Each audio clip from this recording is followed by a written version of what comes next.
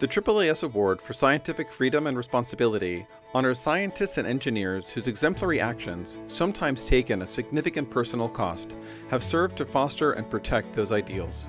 This year, we honor Ricardo Galvão, a professor of applied physics at the Physics Institute of Sao Paulo. In 2019, Galvão was fired as head of Brazil's Civilian Space Agency after he defended its report on Amazon deforestation, which had been attacked by President Jair Bolsonaro. The agency Galvão led, the National Institute for Space Research, or INPE, is responsible for using satellite data to detect illegal deforestation and burning activity in Brazilian territory.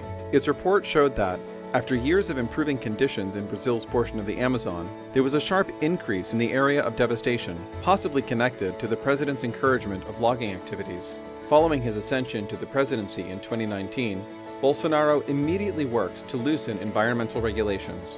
INPE's report was released in July, and Galvão was shocked when Bolsonaro called its figures lies and even singled him out personally, accusing him of being in the service of an unnamed non governmental organization. Far from remaining silent, Galvão spoke out forcefully, defending the report's integrity and calling out Bolsonaro's cowardly approach in making unsubstantiated comments without speaking to him directly.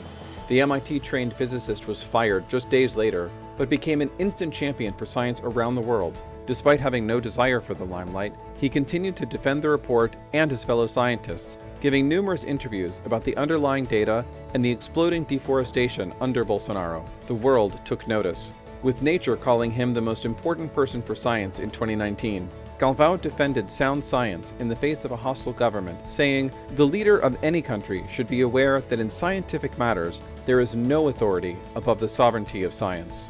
As such, Galvão's actions exemplify criteria for a scientist or engineer to receive this award.